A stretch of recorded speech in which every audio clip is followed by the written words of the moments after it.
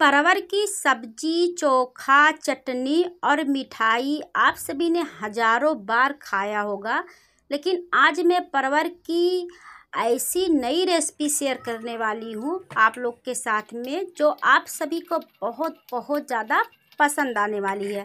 अगर वीडियो आज की पसंद आए तो वीडियो को लाइक करिएगा और ज़्यादा से ज़्यादा लोगों में शेयर करना मत भूलिएगा। तो चलिए शुरू करते हैं।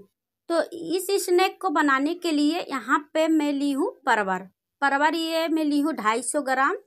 परवर परवर लेते समय इस बात का ध्यान रखिएगा परवर मुलायम रहे, उसमें बीज ना रहे। अगर बीज रहेगी तो मैं आगे बताऊँगी उसको क्या करना है। परवर को मैं अच्छा से धो ली हूँ और साफ़ कर ली हूँ और इसको साफ़ कपड़े से पोछ ली हूँ। तो परवर को इस तरह से ऊपर से आप चाहे तो छिल सकते हैं। ऊपर का जो छिलका है, पतला वाला, उसको निकाल सकते हैं, लेकिन इस रेसिपी में छिलने की कोई भी ज़रूरत नहीं है। परवर को हम सीधा कट करके बनाएँगे। तो चलिए परवर को हम काट लेते हैं। तो परवर को काटने के लिए मैं चाकू का मदद ली हूँ। आप किसी भी चीज़ से आप परवर को काट सकते हैं। तो परवर को बीच में से इस तरह से चीरा लगाएँगे और देख लेंगे परवर को। तो देख सकते हैं, इसमें बीज नहीं है। है भी तो बहुत काफ़ी ये मुलायम बीज है तो इसमें का निकालने की ज़रूरत बिल्कुल भी नहीं है। अगर बीज कड़ी रहे तो आप बीज को निकाल दीजिए परवर में से और सिर्फ़ इसका जो गुद्दा है ना, उसको ले सकते हैं। परवर को इसी तरह से छोटे बड़े टुकड़ों में काट लेना है। सभी परवर को जितना परवर है आपके पास में और जितना रेसिपी आप बनाना चाहते हैं स्नैक, उसके हिसाब से आप परवर ले सकते हैं। तो सभी परवर को मैं इस तरह से काट ली हूँ अच्छा से देख सकते हैं। कि परवर काफ़ी ये नरम है। अब इसे पीसने के लिए मैं ली हूँ यहाँ पे एक मिक्सी जार। आप चाहे तो परवर को सिलबट्टे पर भी पीस सकते हैं। इसी के साथ मैं डाल दी हूँ दस से बारह लहसुन छिला हुआ। इससे काफ़ी ज़्यादा टेस्टी लगती है। लहसुन से अगर लहसुन नहीं खाते हैं तो हटा सकते हैं। इसी के साथ मैं ली हूँ कड़ी पत्ता। तो हमारे पास कड़ी पत्ता थी मैं स्टोर करके रखी थी, वो कड़ी पत्ता मैं इस्तेमाल की हूँ। इसी के साथ मैं ली हूँ डेढ़ चम्मच साबुत धनिया, अक्खा धनिया है, और एक चम्मच भर के जीरा। इन सब मसालों से ये जो हमारी स्नैक बनेगी, काफ़ी ज़्यादा टेस्टी बनेगी। और बिना पानी डाले मसाला को अच्छा से पीस लेंगे, ताकि एकदम मसाला अच्छा से पिसा जाए। तो देख सकते हैं थोड़ा ये दरबरा है, ज़्यादा इसको स्मूथ नहीं पीसना है, इस तरह से पीस के तैयार कर लेंगे और एक बर्तन में निकाल लेंगे सभी मसाला को। अब इसमें पानी डाल के हम थोड़ा सा मिक्सी जार में वो भी हम डाल दिए हैं और इसको अच्छा से फेंट लेंगे चम्मच की मदद से। फेंटने के बाद इसको हम रख देते हैं ढक के साइड में, तब तक हम आगे की तैयारी कर लेते हैं। तो यहाँ पे मैं ली हूँ पोहा। तो पोहा आप किसी भी तरह का ले सकते हैं, मोटे पतले जो भी आपके पास है, पोहा आप ले सकते हैं। अगर आपके घर में नहीं है तो मार्केट में बहुत आसानी से मिल जाती है, वहाँ पे जाके आप ले सकते हैं। तो पोहा को मैं अच्छा से उसको बीन ली हूँ और उसको अच्छा से साफ़ कर ली हूँ। अब एक मिक्सिंग जार में डाल के पोहा का हम पाउडर बना लेंगे। पोहा को भिगोना बिल्कुल भी नहीं है, ऐसे ही पाउडर बना के तैयार कर लेना है। तो देख सकते हैं कि पोहा पूरी तरह से पिस गई है, एकदम पाउडर बन के तैयार हो गई है।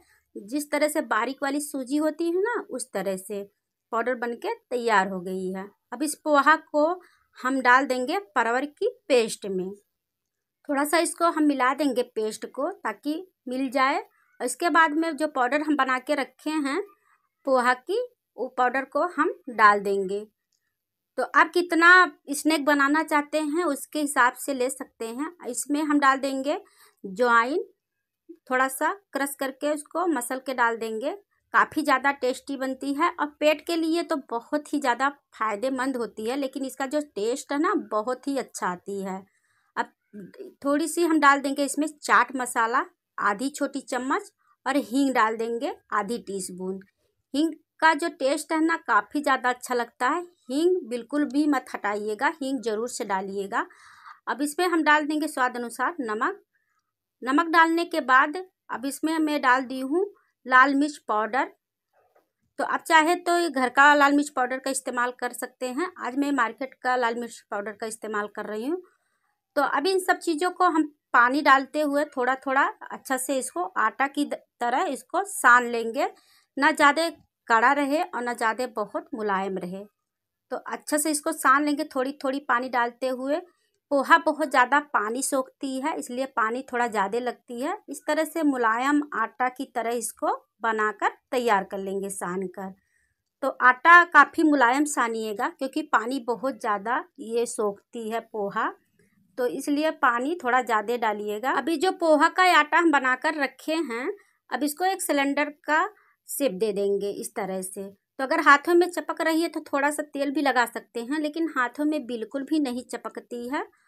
अब यहाँ पे मैं ली हूँ एक सीओ मेकर मशीन ली हूँ। मार्केट में बहुत आसानी से मिल जाती है हर तरह का मिलती है। आप किसी भी तरह का सीओ मेकर मशीन ले सकते हैं। आजकल तो स्टील का मशीन आ गई है मार्केट में। तो सेव मेकर का जो ये साँचा है जाली वाला तो यहाँ पे मैं जो छोटे छोटे होल वाला जाली रहता है ना, उसका इस्तेमाल नहीं कर रही हूँ। मैं इस तरह लंबे वाले जाली का इस्तेमाल कर रही हूँ, जो चौड़ा साइज़ का रहती है।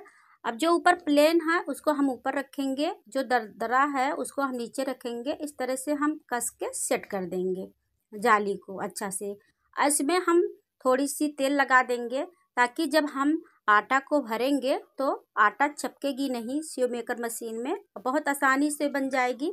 चाहे तो आप हटा भी सकते हैं, लेकिन तेल लगाने से ये होती है कि आटा बिल्कुल भी लगेगी नहीं मशीन में। तो दोनों ढक्कन में भी और मशीन में भी अंदर में तेल अच्छा से पूरी तरह से लगा दी हूँ। अभी जो आटा को हम सिलेंडर का शेप दिए थे, हम भर देंगे, थोड़ी सी और डाल देंगे। पूरी तरह से इसको नहीं भरना है, बस थोड़ा खाली रखना है। अब सेव मेकर मशीन का ढक्कन बंद कर देंगे अच्छा से बंद कर देंगे ताकि बनाते समय खुले ना। तो पूरी तरह से मैं कस दी हूँ। अब चलिए गैस की तरफ़ चलते हैं। तो गैस पे यहाँ पे मैं फ्राई करने के लिए रख दी थी पहले से तेल गर्म होने के लिए। तो ध्यान रखिएगा फ्रेंड, इस बात का तेल एकदम हाई फ्लेम पे गरम करना है। एकदम अच्छा से गर्म होना चाहिए। इसके बाद में सेव मेकर का मशीन का जो ऊपर का पेच है घुमाते हुए अब इसको हम तेल में फ्राई करेंगे। तो देख सकते हैं बहुत आसानी से निकल रही है। तो ध्यान रखिएगा कि ज़्यादा इसमें मत डालिएगा। अगर ज़्यादा तेल आप कढ़ाई में डाले हैं तो तो ही आप ज़्यादा इसमें नमकीन को डालिएगा। अब इसको कुछ सेकंड बाद में इसको चलाते हुए इस तरह से उलटते पलटते सुनहरा लाइट कलर इसको फ्राई करेंगे। जब ये हल्का सा सुनहरा हो जाए, उसके बाद गैस का फ्लेम बीच में रख देंगे। मीडियम लो टू फ्लेम पे उसके बाद में इसको फ्राई करके निकाल लेंगे। इस परवर की नमकीन को ज़्यादा टाइम तक फ्राई नहीं करना है, दो मिनट में ये फ्राई होके तैयार हो जाती है, काफ़ी ज़्यादा क्रिस्पी है फ्रेंड। और फिर दूसरा भी बैच मैं इसी तरह से बना लूँगी तो ऊपर का पेज दबाते हुए, चारों तरफ़ फैलाते हुए बनाना है तो देख सकते हैं बहुत आसानी से निकल रही है।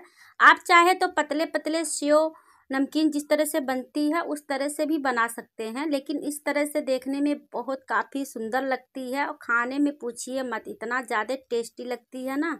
एक बार आप बना लेंगे अपने घर में तो हर बार बनाने का सोचेंगे। खास बात फ्रेंड, इसमें यह है कि आप महीनों तक स्टोर करके खा सकते हैं। अक्सर हम चाय पीते हैं तो कुछ चटपटा खाने का मन करता है तो दुकान पे भागना पड़ता है। तो इस तरह से आप बनाकर रख लीजिए। किसी कंटेनर में भर के आप महीनों तक खाइए, बिल्कुल भी ख़राब नहीं होगी। अब गैस को कर देंगे बंद। सभी नमकीन को मैं इस तरह से बना ली हूँ। तो लीजिए फ्रेंड, बिल्कुल तैयार है हमारी परवर की और पोहा की करारी करारी, टेस्टी टेस्टी, चटपटी सी नमकीन। ये नमकीन खाने में बहुत ही ज़्यादा टेस्टी लगती है और बहुत ही ज़्यादा क्रिस्पी बनी है। एकदम खस्ता बनती है। इसमें ख़ास बात यह है कि मैंने इसमें बहुत सारी परवर का इस्तेमाल की हूँ और पोहा का इस्तेमाल कर रही हूँ, इसलिए काफ़ी ज़्यादा इसमें टेस्ट आई है। जैसे आप मार्केट से नमकीन चीज़ लेकर आते हैं ना, उसी तरह से एकदम चटपटा बनी हुई है। तो देख सकते हैं कितनी ज़्यादा क्रिस्पी बनी है, एकदम खस्ता बनी है। जैसे ही आप खाएँगे ना, मज़ा ही आ जाएगा, इतनी ज़्यादा टेस्टी बनी है। मैं थोड़ा सा खा के भी दिखा दे रही हूँ कितनी करारी करारी बनी हुई है। वाह! बहुत करारी करारी बनी है फ्रेंड, बहुत ही ज़्यादा खस्ता बनी है। इस स्नैक को आप बनाकर रख देंगे ना तो बच्चे दिन भर ढो ढो के खाएँगे, इतनी ज़्यादा टेस्टी लगती है। और आपका भी दिल करेगा कि मैं बार बार खाऊं, बहुत काफ़ी टेस्टी लगती है। अब इसको किसी भी डब्बे में, कंटेनर में भर के रख दीजिए। महीनों तक खाइए, बिल्कुल भी ख़राब नहीं होने वाली है। तो ज़्यादा बनाइएगा, कम बिल्कुल भी मत बनाइएगा, क्योंकि पड़ोसी लोग भी मांगने चले आएँगे। इतनी ज़्यादा ये टेस्टी बनती है। तो ज़रूर से ट्राई करिए। ऐसी बहुत सारी रेसिपी का वीडियो देखने के लिए वीडियो के नीचे आप लोग को लिंक मिल जाएगी, वहाँ पे जाके आप देख सकते हैं। तो आज की परवर की नमकीन की रेसिपी आप लोग को कैसी लगी, कमेंट करके ज़रूर से बताइएगा। पसंद आई होगी तो वीडियो को लाइक करिएगा, ज़्यादा से ज़्यादा लोगों में शेयर करिएगा। फिर कल मुलाकात होगी एक नई रेसिपी के साथ में, तब तक ले बाय बाय नमस्ते।